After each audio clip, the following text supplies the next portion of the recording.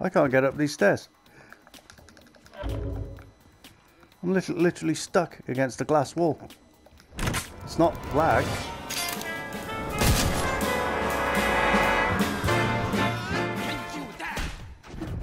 Hello there, my name is Vynny Voodoo, and I finally had a chance to play Operation Monarch. Uh, and I've got to say, off the bat, I was impressed.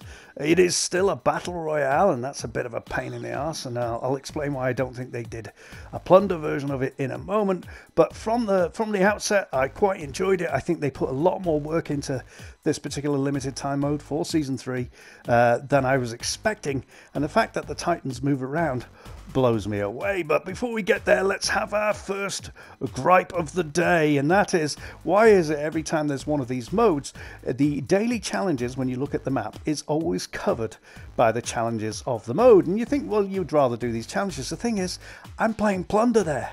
And you can't do those challenges in Plunder. So why even show me them? And this happens every single season. They show that these challenges in all modes, even in ones where you can't do those challenges. It's just a little thing like that that's a bit niggly. But anyway, I think the reason that they didn't include this particular uh, event in Plunder is because you could do what I'm effectively doing here. Uh, find yourself a nice spot, get yourself some munitions boxes, get your favourite weapon that you want to do up, and just blast the hell out of the Titans. Uh, in fact, when I'm playing this and when I played it to get all of this footage, that's pretty much all I did because it was more fun than playing Battle Royale. and I think if you were in Plunder, you could just do this for the entire game. And probably when they were testing it, they realized that was the issue. You can even do it as you're parachuting in with just the, the stock pistol that you get in Battle Royale. So that's the reason I, I think that this event wasn't available in Plunder.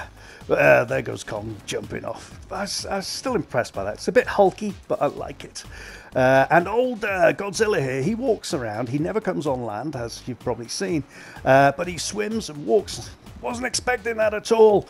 Uh, very impressed by that. But it does have its disadvantages, and that's clipping. Now, in a moment, he'll turn around, and instead of uh, his tail knocking down the lighthouse, it just passes through it. Now, whether or not that would mean you die if you're in the lighthouse, I don't know. But here it goes. It'll just clip straight through it. What am I expecting? I don't know. I'd like the lighthouse to collapse. I'll zoom in and show it again.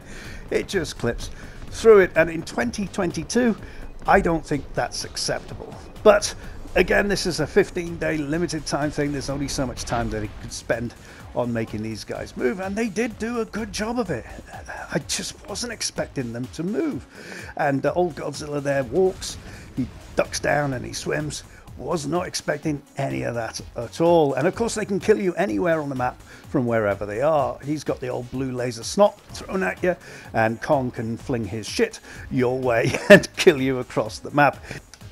It's like one of them has an airstrike and the other has a cluster bombing uh, oh, this is interesting. The uh, as the paleontologist in me loved the fact that there's these skulls and bones dotted around the map, and it'd be such a shame if they go after the event is over, but they probably will. Uh, in this bit, I actually uh, want to show you another bit of the clipping. Uh, old Kong's right foot there's standing right on a tent. A tent, I might add. And it almost looks like he squished it, but when he moves, you can see he hasn't. Again, I'm not sure if you'd die if he was in there. I think you would. But uh, yeah, they didn't put any level of destruction or deformation of the characters there. Uh, but they did spend a huge amount of time on his facial expressions and his anger. Um, and he could have just had his face, you know, static, really. But uh, it is interesting that uh, compared to the CGI version that they showed, which I'll show in a minute, uh, it's not quite as good as what they promised it would be. However, it was it is better than I was expecting. Plus, you get to shoot Kong in the arse, and you get yourself some arse intel. And you know, there's nothing wrong with a bit of arse intel. But speaking of the CGI trailer that they showed us, I'll cut to that and, and watch the contrast between what we're just looking at there and the CGI trailer. Now, you could say, you know, that's the way it is. It's always been that way, but I don't think it should be. It's 2022, and there's no doubt that in my mind that PS5 and Series S and X could do graphics that look like this and not Warzone because Warzone looks like it's running on a 360, especially in Caldera. I may be being a little mean there, but it's it's certainly uh, not this good and I think it could be.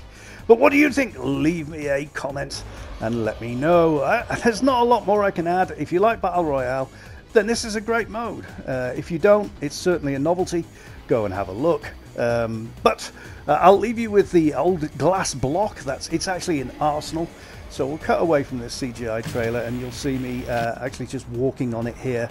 Um, I don't understand how a bug like this could be introduced by the mid-season, but it was.